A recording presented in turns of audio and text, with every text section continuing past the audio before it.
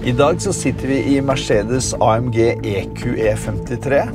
En skikkelig bomba en bil. Dette er det råeste som Mercedes har nå. Riktignok så har de EQS eh, AMG 53 den også, som eh, har noen flere hester, men den bilen her er noe mer snerten og skal nok gå rett i strupen på eh, Porsche Taycan. Eh, med sine 687 hester og 1000 newtonmeter så går den egentlig rett inn mot uh, Taycan GTS og Turbo, et sted mellom der sånn. Der ligger den også prismessig og prestasjonsmessig. 2,6 tonn bil. Firehjulstrekk, firehjulsstyring.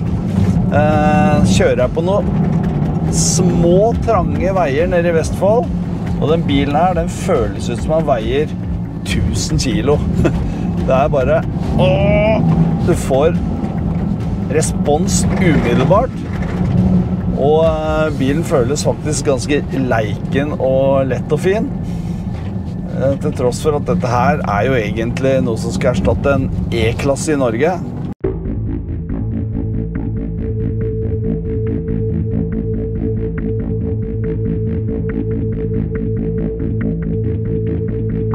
Starter med en drag race. Hør den lyden. 3,47.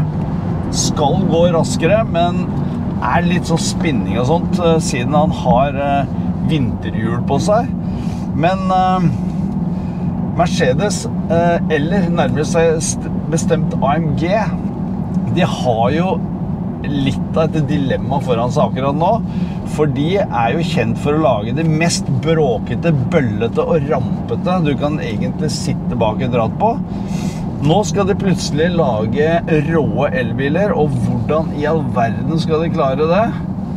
Ja, vi ser i hvert fall første svar her. Nå heter bilen riktignok bare 53, for 63 det blir jo fortsatt reservert for eh, fossilbiler, fordi det anses som råere. Det er litt mer komfortabelt, men jaggu er det bøllete, det greiene her òg. Nå så vi hadde 0 til 100 på 51 meter, faktisk. Jeg har klart å kjøre den helt ned på 47 meter, selv med vinterhjul. Og 3,2 sekunder fra 0 til 100. Så det er en rask bil. Selvfølgelig har jo Tesla ødelagt alt for alle eh, med modell eh, S-Plaid som klarer 0 til 100 på 2,1 sekunder. Men dette her byr jo på en del andre ting, da. For det første, se rundt deg. Fullt av detaljer. Masse kule ting. Du har masse kule skjermvisninger. Her har du alle baner du kan tenke deg. Og du kan legge inn dine egne baner, og du kan snakke med andre i community. Du kan se energiflytende. Du ser at den bilen her drar faktisk ganske mye på forhjula når du kjører veldig rolig. Du har eh, drivverk som viser temperaturer på batteri og, eh, og eh, motorer. Og så har du jo faktisk her sånn, så har du jo temperaturer på dekk og hvor mye lufttrykk det er. Og du kan faktisk også velge å se støtdemperne, hvordan de jobber, og hvor mye styrevinkel du har. Og så har du jo det derre kule meteret her som viser effekt og dreiemoment. Akkurat den samme visninga har du jo faktisk eh, her sånn, med to spesifikke AMG-visninger og, en, eh, og flere andre også. Men du har bl.a. den tradisjonelle, som også viser temperaturer på motorer og, og drivverk. Og det er ganske viktig, fordi at Eh, når du velger mellom kjøreprogrammene, som er veldig lett tilgjengelige her Mellom komfort De har droppa økonomi på den bilen her. Mellom komfort, sport og sport pluss så ser du at han øker fra 80% effekt til 90 til 100 i sport pluss. Får du også en mye råere lyd. Får deg til å føle deg mye kulere. Eh, det skjer jo ikke hvis ikke batteriet f.eks. er eh, varmt nok så skjer det heller ikke at du får full effekt hvis det er for lite strøm på batteriet. Det er en bil som ikke føles altfor presis når du bare ligger og lunker på veien. Eh, og egentlig så trenger den nok litt inspirerende kjøring for å for å få fram det beste i seg, egentlig. Og da føles styringa litt mer presis. Han går litt ut med hekken, og det er eh, nok mest pga. at eh, nå sitter vi med noe ganske mjuke vinterdekk på den. Denne her bilen fortjener jo kanskje egentlig europeiske vinterhjul, eller enda bedre ordentlig sommerføre. Nå er det jo minus to ute og litt kald asfalt.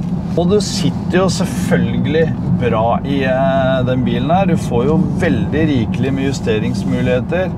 Rattet er rett foran deg. Du sitter kjempelavt hvis du vil det. Det liker jo jeg.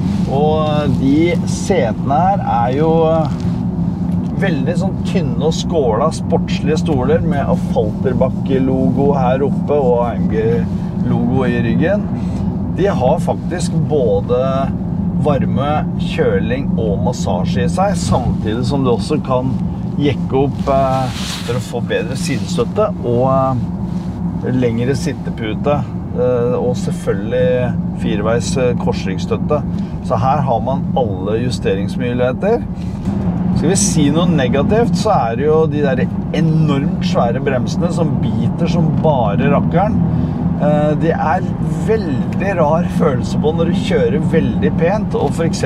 så bare skal bremse foran garasjeporten og sånn, så er de ja, veldig rare. Men når du kjører litt aktivt, så funker dette her akkurat som det er tenkt. Dessverre så må jeg nok for Mercedes sin del si, eller AMG, at uh, understellet har de ikke fått like bra til. Porsche er rett og slett best på å få bilen til å rulle veldig behagelig på selv ganske dårlig vei, og likevel føles utrolig tight. Og styrefølelsen der er også en helt annen. Men den bilen her har kanskje litt andre kvaliteter som Porsche ikke har. Han har litt bedre plass, både i baksetet og i bagasjerommet. Det tar vi oss ikke tid til å teste denne gangen her. Men hvis du har lyst til å se mer om det, så ser du på den videoen som kommer nå på slutten her, så kan du få med deg både kofferttest, baksetetest og eh, barneseter.